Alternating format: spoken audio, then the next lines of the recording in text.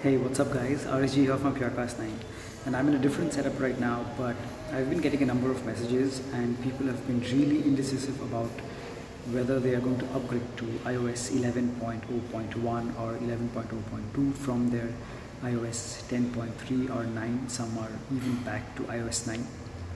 So my suggestion would be to if you're really confused and because iOS 11.0.2 and 11.0.3 are both a little uh, they're giving a lot of problems.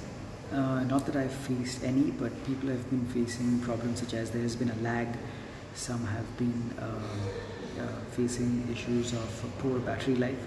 So if you are confused I would suggest you don't upgrade because once you do the furthest you can go back is to iOS 11.0.1 you can't go below that so I think iOS 11.1 when it rolls out it's still in its beta stages beta 2 I think. So when that 11.1 rolls out it's going to be much more stable.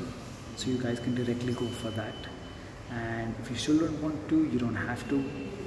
It gives you a few nifty uh, upgrades but if that's not your game if that you're okay with what you have right now then I suggest you stay where you are and no need to be in this kind of a dicey situation so I've been using iOS 11.0.2 on my iPhone 5s and it's been okay I face no lags as such I face minor glitches in the screen recording. Sometimes it wouldn't record the sound or the resolution would be a little uh, problematic.